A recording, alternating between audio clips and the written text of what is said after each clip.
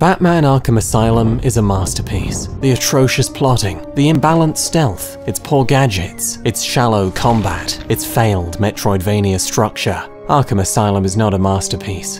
Arkham City is a masterpiece. Thank you for watching. But above all, it's kind of like a toilet seat. Arkham City's themes is obvious. They aren't obvious. Cancel posters litter the streets. But how could Joker have said the N-word on stream 200 years ago? Big questions, bigger than any on Earth. Riddle me this. What's quicker than a cat, sneakier than a bat, and a complete prick? Spider-Man. This is like 360 no-scoping a tree, worth putting on your Tinder profile, but not very useful. Talia's father has been double penetrated. It's hard to care for statue cancer, but it's all okay because Robin arrives to commit misogyny. Pruning hedges while holding Catwoman's legs up is Batman's job. But if you're struggling to recall a time when that actually happened, your memory's just fine. After emerging from a hedge, Ivy immediately starts hanging someone. Ah, shucks. Sorry, Batman, you haven't got a binding enzyme. I should have never smoked that shit, now I'm fighting rabbits in Wonderland. Ladies and gentlemen, allow me to present to you the future of your sex life. Thomas the Wank Engine. Now, I don't want to sound like a supervillain. Actually, fuck it, I do. Kill them all! No, but you can liquidate a few of these fuckers, can't you? There's no other word for it. I am simply a genius. And then, of course, I dropkick my nan and now I'm here. Consider what we're about to say, a critique of the whole damn franchise because it's a shithole.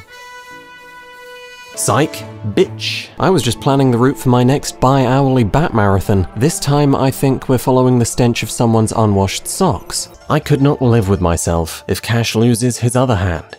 The first stealth encounter is the only space in Arkham City architectural chaos. Uh, you can roll over a ledge for a cool flip. That is the crutch of a mediocre movement system that altogether really made you feel like Batman, and a thinner bottom snugly indented in the middle. Oh yeah, it feels good. The bad news is, something abominable slipped through the sequel's cracks. Word of warning, this guy's a bit of a dickhead, so just bear with me, alright?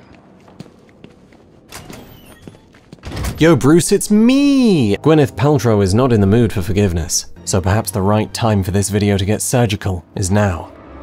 Let's talk about the power of belief. You can choose. You can think. It's intrinsic, so you can choose to think. Chuck a fucking cornetto at his head. Batman has more range. Selina has a whip. Batman has a winch. Selina has a whip. And movement is holding the run button. It's a hidden feature. Yeah, kind of a big deal. Only took me 200 hours to notice. And then I decided to rescue Catwoman. Oh no, there's a chasm! What in the world am I going to do? Won't someone save- Oh, I have the line launcher, and unlike my girlfriend, satisfyingly filled with white light. White light? Sounds like a fucking bop it. Squeeze it and they'd come gushing out. Would you stop shooting my girlfriends in the spine, please? The problem of depth is cat poison. Ooh, alcohol. Arkham City is a living, breathing place, but it only moves in stop motion. Whereas the Spider-Man 3 phase splits your attention three ways. And if you fuck it up, a bald guy chucks a chair at your head.